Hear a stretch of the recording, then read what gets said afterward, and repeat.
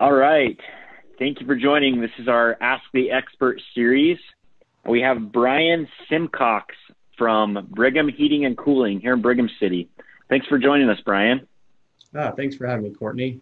Our topic for today, uh, Brian, being from heating, uh, heating and cooling industry, HVAC systems. Uh, the topic I asked him to talk about would be some simple home energy saving tips. Now, I know a lot of you right now are looking for ways to maybe uh, stretch your budgets each month. Um, so that's why I've, I have Brian on. Now we're just going to go ahead and get, get started right into the first question. Now, Brian, what are a couple things we can do right now to start saving on our energy costs at home? Well, uh, one of the main things is is um, HVAC accounts for about 50% of our utilities, and so that's a good place to start. Um, one of the things that are the easiest is to address the airflow in the home. So it's important to make sure that uh, all the vents are open. Um, so for your furnace, you want all the vents open in the home, not not very many of them closed. Um, and then when it comes to um, like air conditioning, you want to make sure that your your basement vents are closed and all your air conditioning is going into the rooms that you needed upstairs. Um, and then change your air filter. You know, minimum every three months we should be re- replacing those filters. Great. Um, I think even right now is probably a good time to change because we've got all the pollen in the air. There's a lot of contaminants getting caught in that air, air filter. So that, those are some great uh, great tips.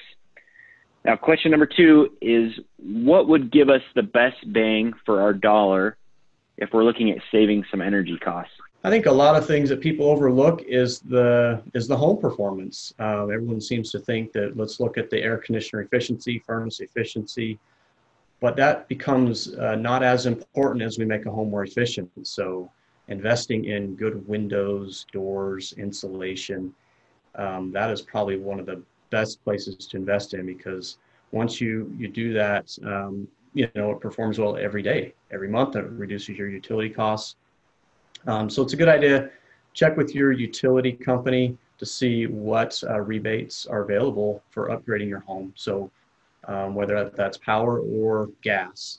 Great. Now, what what is your opinion on like LED lights and, and things like that? And so um, a good thing is when you put on uh, or install upgraded lighting, um, you're going to create a lot less heat um, with LED lighting. Therefore, your air conditioner doesn't have to work as hard to remove that heat um, that you that you paid for. Lower cost to run, and it doesn't increase the heat in your home. So that's that's great.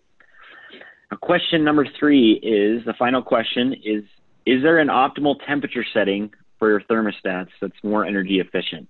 So, um, when it comes to thermostats, obviously you want to keep your temperature um, cooler in the winter and warmer in the summer. Um, for an example, uh, me and my wife uh, had a dispute over temperature in the home.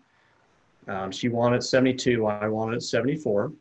So one day we ran it at 72, and the next day we ran it at 74, very comparable days in temperature, and we had five hours less runtime um, at the at the 74 degrees. So I think we compromised at 73.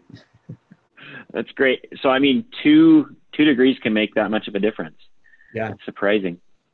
Uh, perfect. So I, uh, uh, first of all, Brian, I want to thank you for being on our show today. I think you've given us some some simple things that we can all do today to start saving to start saving some money on our energy bills. Um, now, lastly, uh, I want to give you the opportunity, obviously, to, to plug your business. How do we get a hold of you? And is there a promotion you guys are running right now? Um, yeah, the utility company and the manufacturer does recommend a yearly checkup, and that's something that we offer.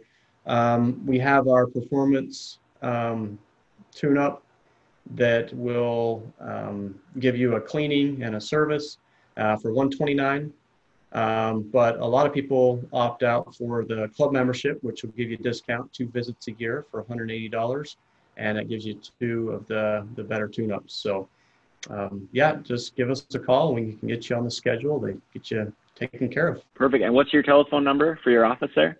It is 435 723 2150. And you have a website? Yep. Our website is brighamhvac.com. Perfect. All right. Again, thank you, Brian, for being on the show. And thank you guys for watching these shows. We're hoping to continue to bring some more content Um, so, Brian, you have a great day. Thanks. Thank you.